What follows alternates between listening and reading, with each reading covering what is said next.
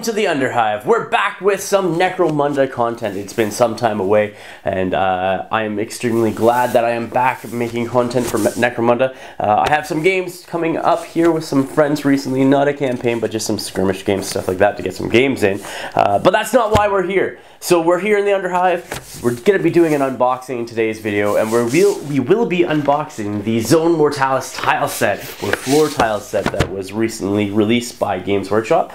Uh, I've bought two sets of these and uh, I'm gonna start making myself a Zone Mortalis board. I'm debating if I want to do like a full 4x4 or if I just want to get one more box. Uh, I might do a 4x4, but that's gonna take a lot of terrain. Um, I have a big idea in my head as to a nice towering terrain piece, probably like I don't know if I can do like three feet tall with multiple levels and stuff like that, uh, using a lot of the Mechanicus terrain that I have uh, kicking around that I haven't built or painted or anything. But e either way, I'm thinking that these might be the base for that terrain piece, uh, as well as maybe some Zone Mortalis games.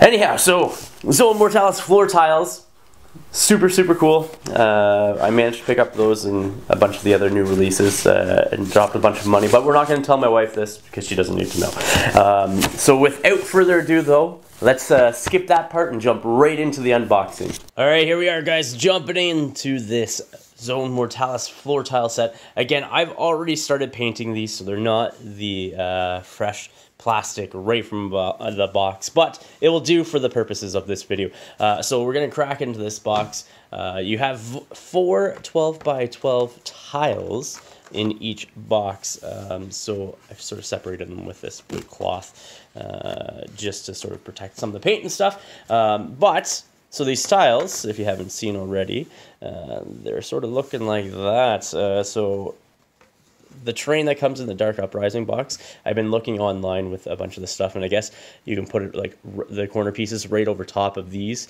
uh, which is pretty cool. But uh, so you have all four of these tiles looking the same, the, the gray plastic like that. So what I did with these tiles is basically took a bunch of rattle cans of paint and started paint, painting them. Um, there was a live stream on Twitch. Uh, Mark, I cannot remember his last name, uh, but from Games Workshop was sitting down and he was talking about him building the terrain from the dark dark uprising starter set as well as uh, painting up these tiles and stuff like that. And so uh, I basically took what he was suggesting, not using GW paints just because of the price of them, stuff like that. Uh, I just went out to my local hardware store picked up a bunch of rattle cans, and so it was a, a black primer underneath, and then uh, we I went with a dark gunmetal color, uh, and then a standard like a, flat gray, and then I did an off white in areas and such.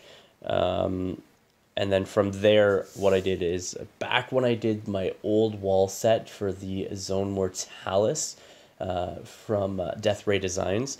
Um, so it was the uh, their set. Uh, I picked up some uh, sea spray. Uh, what is it? It's amber sea glass, I think they call it. It's sort of like a glaze in a bottle or in a can. And so I added that as a final highlight to just get some tinting in certain areas. So you'll see like, you know, in this one here, there's like some tinting down at the bottom and stuff like that. Um, but yeah, so I'm just going to start pulling some of these out. So each of these tiles, again, uh, I've tried to do a couple of like weathering techniques by just dabbing and dragging some of the paint off in pieces. I wouldn't say off, but sort of like uh, around. Um, but yeah, so each of the tiles are the look the exact same. Uh, minus the paint obviously is different on each of them. So this set, like I said, I have not done anything extra with them. I've just added on uh, some extra paint uh, with rattle cans. Um, but the next box, the next box is the box I've been working on. Let's get make some space here.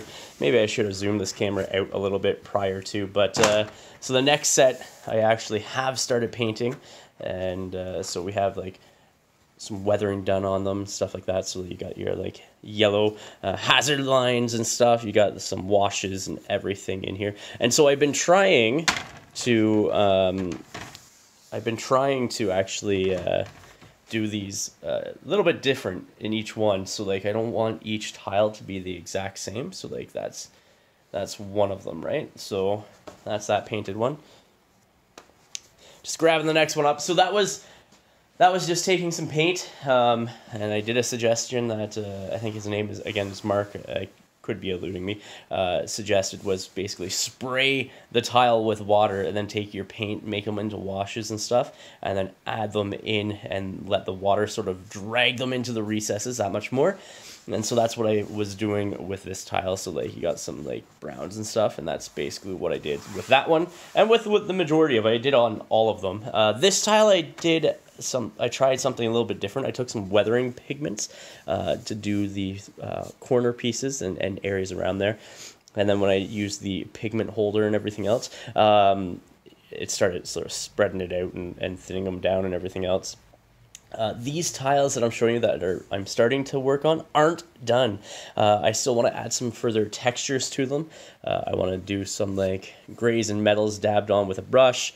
Uh, I want to um, you know like over the rust to make sure that there is some metallic look to them. Uh, I might bring out the the grays on the actual base tiles with a light dry brush of I don't know some sort of gray. I'll probably go to like a dollar store or something get some acrylic paints from there, uh, just for the size of the terrain and that that I'm working on.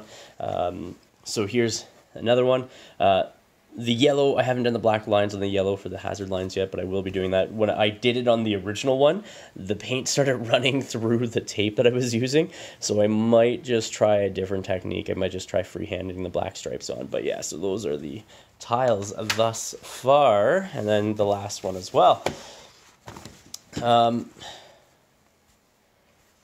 I my thoughts on these tiles. A, I really do like them. I wish that they would have at least given some extra designs to them so they're not all identical. Um, I know when you start adding terrain and everything and like your technique, like weathering techniques and painting them up, they could look different. Uh, but I want, I would, I would like to see more variety, I guess you can say, in the plastics. And I know that there's talks of that coming, but I think that just would have been a good way to start with these tiles is to by adding more variety into into the set itself. Uh, but if they do come out with other ones, I will probably pick them up, so I will have that variety. Um, but yeah, so I, I that's one thing. The other thing that I kind of would have liked to have seen, and I don't know if they're coming out with it. I've uh, picked up a tile, a bunch of tile sets before, more for like a fantasy setting, and they're plastic tiles, and they're from Secret Weapon Miniatures. I cannot uh, Tilescapes or something like that, and they had for their tiles connectors that you would place underneath them, like in the corners, uh, so you could connect the tiles together and they'd be joined. So like, so like on the board, like it's not gonna move so much on this on this uh, mat that I'm using, but like when you have them side by side, you know, you would hope that they would stick together. But like, there's times which you've probably seen in some of my battle reports using the Zomer tiles, uh, tile stock uh, tiles or cardstock tiles, sorry, uh, where things might have shifted a little bit. And so with these plastic ones, I think it would have just been cool if they could have um, added like a, a locking mechanism underneath to keep them held together. Uh, these tiles are going to be great for anything, whether you're playing 40k, uh, Necromunda, Kill Team, whatever, you can make your boards with these. It might be an expensive board, but I think it is it will make a very nice sort of uh, whether you're you're in like a, a ship of some sort doing like interior sort of interior bulkheads and stuff like that, uh, or if you're playing in a cityscape uh, board, you could do that, or even in the ruins of Necromunda in the Underhive itself. So those are the tiles, guys. That is the unboxing for today. Let me know what you think in the comments down below. Uh, if you want to see more unboxing videos and such, uh, also let us know. Thank you for watching. Please remember to like, share, and subscribe. Until next time, ignite your hobby.